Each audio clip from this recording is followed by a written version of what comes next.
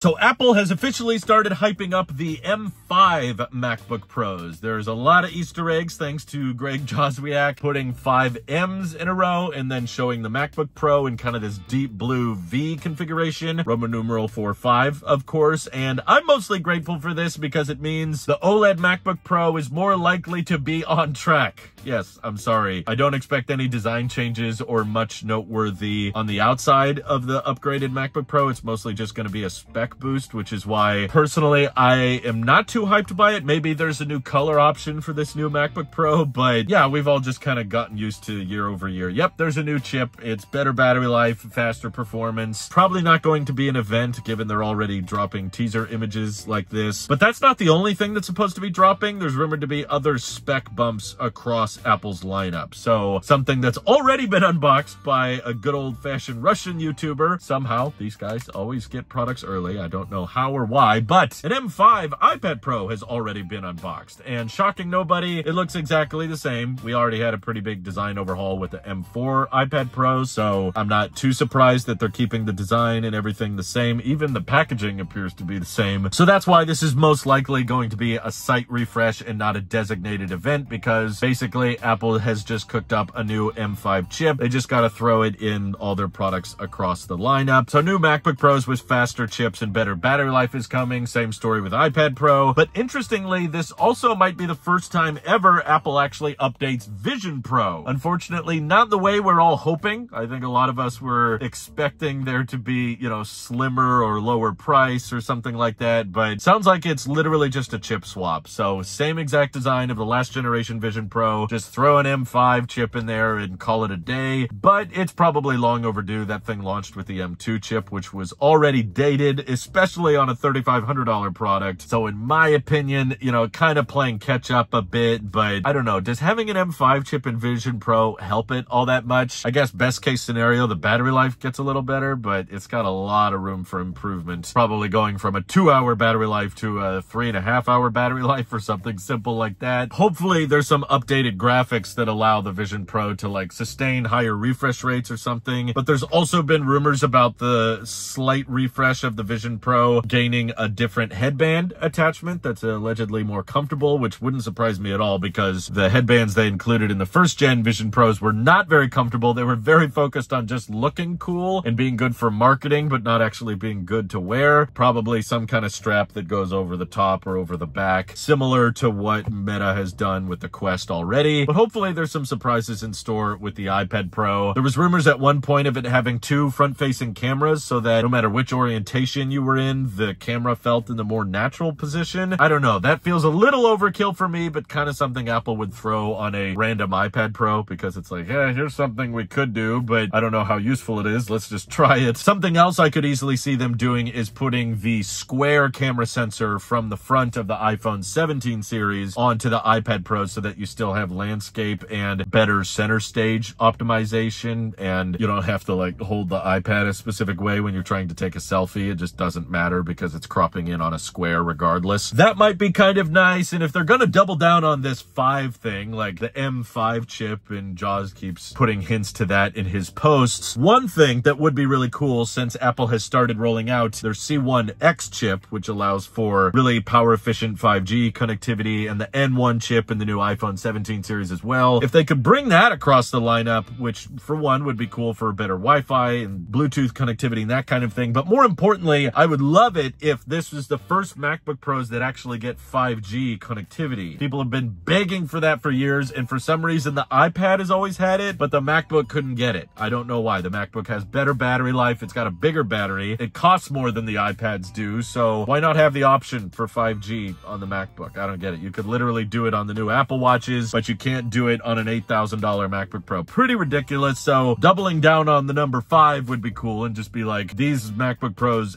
actually support 5G. Sure, maybe it's not millimeter wave, but Apple is making pretty decent 5G modems now for their iPhones. Might as well start putting those in the iPads in the MacBooks while you're at it, right? Screw it, put it in the Vision Pro while you're at it so you can walk around and drive with your headset on. That might be dangerous and ridiculous. Don't take my advice, but stay tuned for more. I don't know when Apple is dropping all of this stuff. It could literally just be any hour now. They're kind of unpredictable these days. But what are you most excited for? Are you most interested in the new MacBook Pros? Are you most interested in refreshes to the iPad Pro or the updated Vision Pro? Feel free to let me know all those thoughts down in the comments below. And thank you to everybody supporting this channel directly. Seriously, helps us out a ton, as does just watching these videos. So thanks again. This is your Apple Sheep here. I'll see you all in the next one.